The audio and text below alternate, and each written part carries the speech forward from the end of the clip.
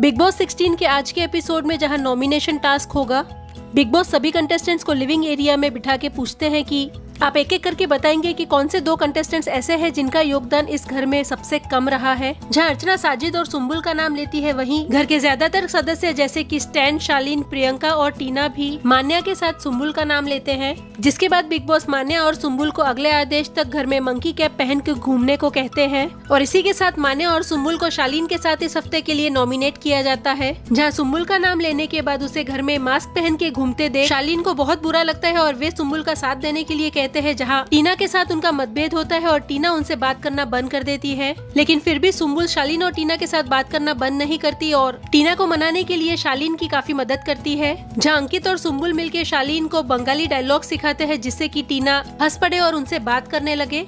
लेकिन टीना काफ़ी देर तक शालीन से बात नहीं करती और सिर्फ़ शिव और अंकित से बातें करती है। तो व्यूअर्स, क्या कहेंगे अब आज के एपिसोड के लिए जहाँ मान्या और सुम्बुल को मास्क पहन के घूमना होगा? वहीं दूसरी तरफ़ घर में इतना कुछ होने के बाद भी सुम्बुल ने शालीन और टीना के साथ अपनी दोस्ती नहीं तोड़ी। और क्या लगता है आपको इस वीकेंड किसे एविक्ट होना चाहिए? मान्या सिंह, शालीन भानोत या फिर सुम्बुल तोकीर को?